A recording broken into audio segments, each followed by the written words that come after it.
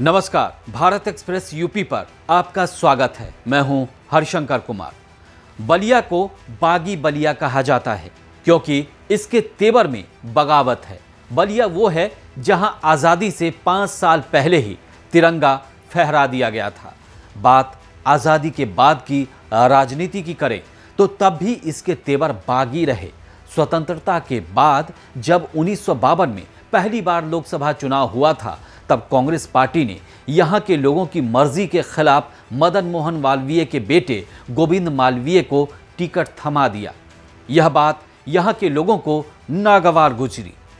बलिया ने फिर अपना बागी तेवर दिखाया और कांग्रेस की लहर में निर्दलीय मुरली मनोहर को जीत दिला दी और उन्हें दिल्ली भेज दिया।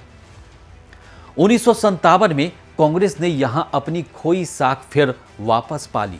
कांग्रेस ने यहाँ राधा मोहन सिंह को मैदान में उतारा और जीत दर्ज की। बलिया में कांग्रेस पार्टी का जलवा 1971 तक कायम रहा। नेता ज़रूर बदलते रहे, कभी कांग्रेस को हराने वाले मुरली बाबू कांग्रेस की टिकट पर फिर उन्नीस सौ बासठ में सांसद बने। उन्नीस सौ सड़सठ और 1971 में चंद्रिका लाल ने यहाँ से जीत दर्ज की। जब कांग्रेस के खिलाफ जयप्रकाश नारायण ने देशव्यापी आंदोलन छेड़ा तो बागी बलिया के फक्कड़ चंद्रशेखर सिंह को यहाँ की जनता ने चुना। चंद्रशेखर सिंह बलिया से लगातार चुनाव जीतते रहे। उन्नीस सौ चौरासी को छोड़कर इंदिरा गांधी की हत्या के बाद उन्नीस सौ चौरासी में हुआ चुनाव अब बाद है। तब कांग्रेस पार्टी के जगन्नाथ चौधरी ने जीत दर्ज की थी।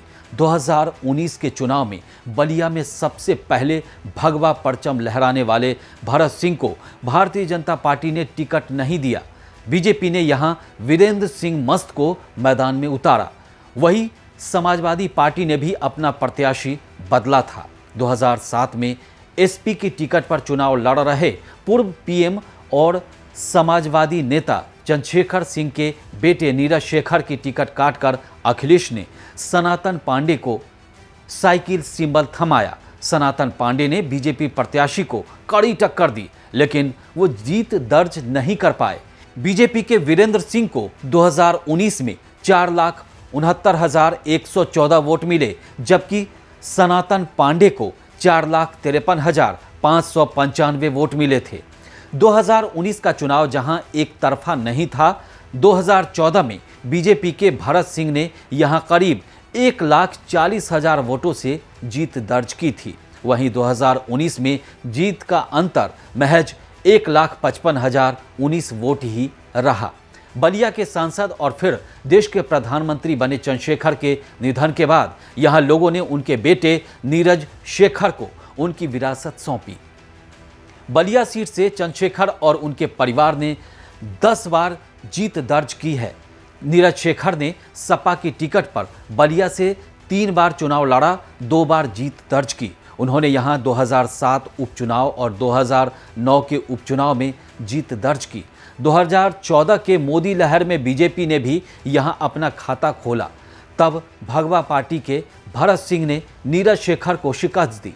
इसके बाद 2019 में बीजेपी के वीरेंद्र सिंह मस्त ने यहाँ जीत दर्ज की। 2019 में नीरज को सपा ने टिकट नहीं दिया तो नीरज शेखर बीजेपी में शामिल हो गए। नीरज शेखर अभी बीजेपी से राज्यसभा सांसद हैं। बहन मायावती की पार्टी ने यहाँ अब तक खाता नहीं खोला है, जबकि दिवंगत समाजवादी नेता चंद्रशेखर सिंह ने पहली बार आरएलडी की टिकट पर ही यहाँ से जीत दर्ज की थी। बीजेपी बलिया में हैट्रिक लगाने की कोशिश में है और समाजवादी पार्टी अपनी खोई ज़मीन पाने की जुगत में। इसके बाद यहाँ जातीय समीकरण महत्वपूर्ण हो जाता है। बलिया में कुल तेईस लाख अंठावन हज़ार छः सौ छः मतदाता हैं। इसमें पुरुषों की संख्या बारह लाख तिरानवे हज़ार आठ सौ साठ है, जबकि महिला मतदाताओं की संख्या दस लाख चौंसठ हज़ार छः सौ छिहत्तर है। बलिया ज़िले की 90 प्रतिशत से ज़्यादा आबादी गाँवों में रहती है। बात जातिगत वोट की करें तो यहाँ सबसे ज़्यादा करीब तीन लाख ब्राह्मण वोटर हैं। इसके बाद यादव और राजपूत वोटरों की संख्या करीब ढाई ढाई लाख है। मुस्लिम वोटर की आबादी भी एक लाख से ज़्यादा है। भूमिहार वोटो, वोटरों की संख्या अच्छी खासी है। बीजेपी ने एक सौ पंचानवे उम्मीदवारों की जो पहली सूची जारी की है, उसमें बलिया सीट शामिल नहीं है। बलिया के लोग शुरू से ही फक्कड़ स्वभाव वाले जनप्रतिनिधि को चुनते रहे हैं। चंद्रशेखर सिंह यहाँ से आठ बार सांसद बने, फिर उनके बेटे भी दो बार। लेकिन अब यहाँ की राजनीति ने करवट बदली है। अब यहाँ जाति के साथ साथ धार्मिक आधार पर भी वोटों की गोलबंदी हो रही है। इस वीडियो में फ़िलहाल इतना ही। देश और दुनिया की तमाम खबरों के लिए देखते रहिए भारत एक्सप्रेस, यूपी। नमस्कार।